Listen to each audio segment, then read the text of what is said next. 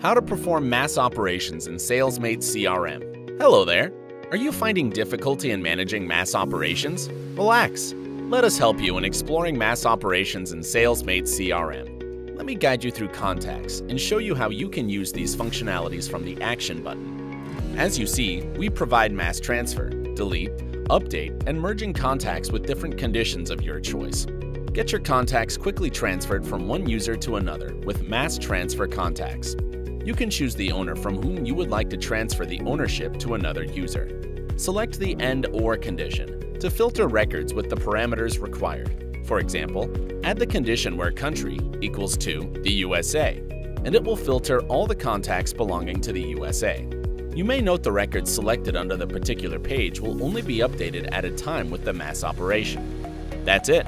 All the prospects from the USA will now be transferred to the new owner.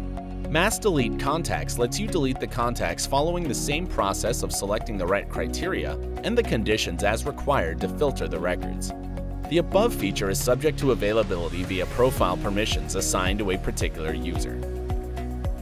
With Mass Update option, you can quickly filter and mass update the records using similar steps as above. Filter the contact you want to amend, say where industry equals to automotive, and hit search. You may now select the records and hit save. That was really quick.